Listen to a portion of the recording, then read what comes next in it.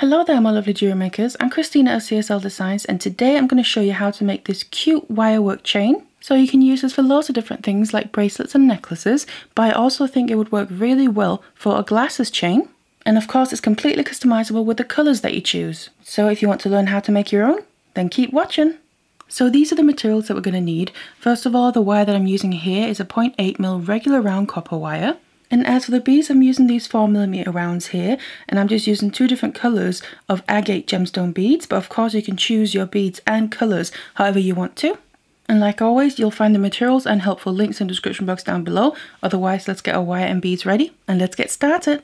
Now before we start making the chain, what I personally like to do is cut several lengths of my wire ready, so I can just grab them as I need them, and these lengths are each about 10 centimeters long. So I then grab a length of wire and we're going to use one length per link.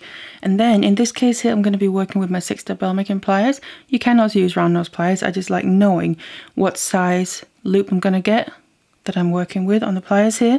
Now I'm going to place my pliers roughly about the middle of the wire and I'm working with my second smallest step. Then I'm going to take one bead and get that on the wire. And the bead is basically sitting in the middle and the pliers right next to it. Obviously just as close to the middle as you can get.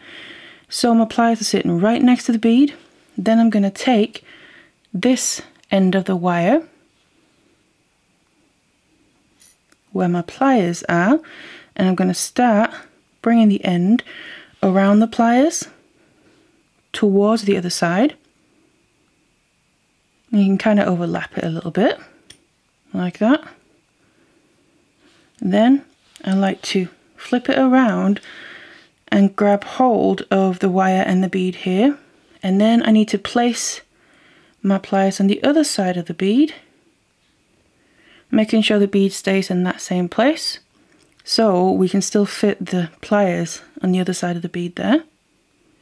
And then I need to do the same thing, but with the other end, so I'm grabbing the other end of the wire and bringing that around in the same direction. Further around the pliers there. Make sure then the bead is pushed up right against the pliers because then as I'm bringing this wire further around, I'm going to make it go over the other wire, but basically around the bead. So I'm using the bead as a bit of a guide, and I'm also using then this length of wire to kind of cage the bead in place and then bring it a little bit further around so it's kind of hugging around that side of the bead. Now the other one is still a bit more open so I'm just going to go back to the other side, place my pliers back in and then just bring this length around in the same way. So again, I'm bringing it further. Make sure the bead is pushed all the way up there. And then bringing this wire over the other side and then just hugging nicely around the bead like that and you can then see it's almost like the wires are kind of wanting to intertwine with each other but we have the bead in the middle and it creates this nice shape and then I've used my pliers here to get these as you could say loops on the ends which is where I'm then going to also use them to connect the links together. Then to secure this in place and finish off the ends, I want to make sure that first of all I'm on this side where the wires are lapping over, so the ends are coming over the other wires. Then I'm going to just grab one end at a time, hold on to everything in the middle here so nothing goes out of shape, and then just bring it around basically towards the back. So you can see from the side there, it's going to be wrapping around and kind of looping back towards itself.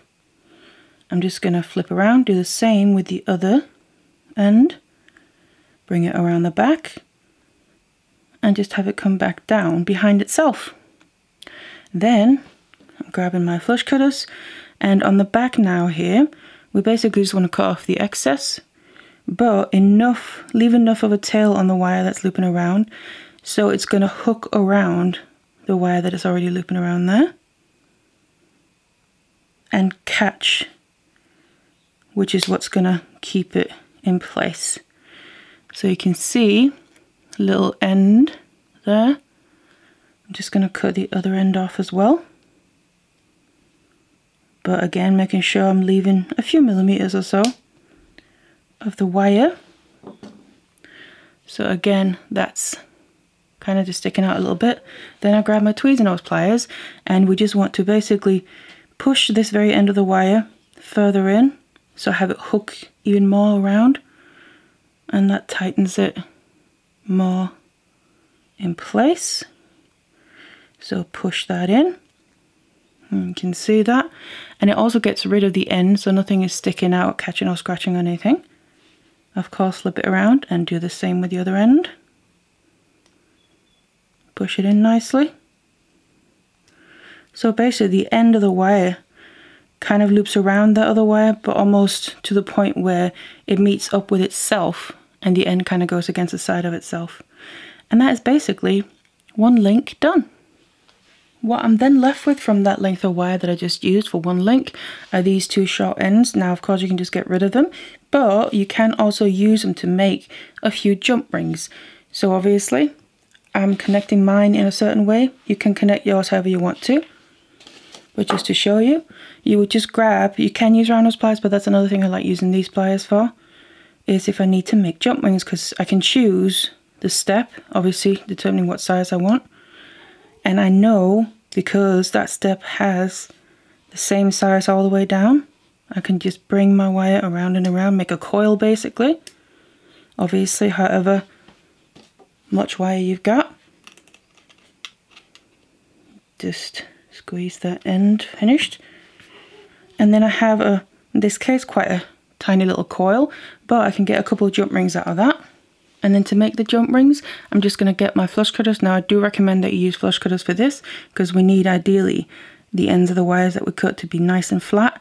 I'm just going to start on one end. First of all, cut the end flat. Get rid of that little bit. Now what I then do is flip the flush cutters so the flat side is going to be against where the other end is going to be. And cut just one step up you could say, but as much in the same place as the cut below. And there I now have a jump ring that's nice and ready to use. And then in this case here, how I've chosen to connect my links together, I'm just going to use these jump rings that I've made with the same wire as the links themselves and connect them together so I'm just using, like I said, the loops there on the ends, put my jump ring through one, and then I've already got a few prepared here, so a bit of a length.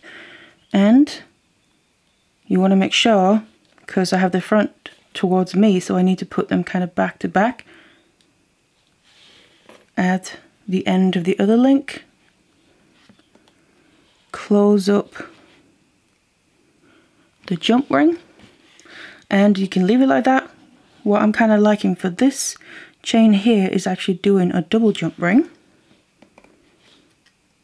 So just open up another one and then again get to the same place and then just loop through the exact same two loops there where we already have a jump ring. Just add another one. Close that up and then I've linked another link onto my length of chain and it just gives a nice little effect and obviously it's also extra secure as well if you're using this technique of attaching them. So that's how you make this cute little chain with a pretty simple and easy technique and you can really customize it depending how you mix your colors. So I really hope you enjoyed this tutorial. Now if you like making your own chain, I have loads more tutorials for different designs on my channel, so feel free to check that out. Otherwise, thank you so much for watching this one, and I'll see you in the next one.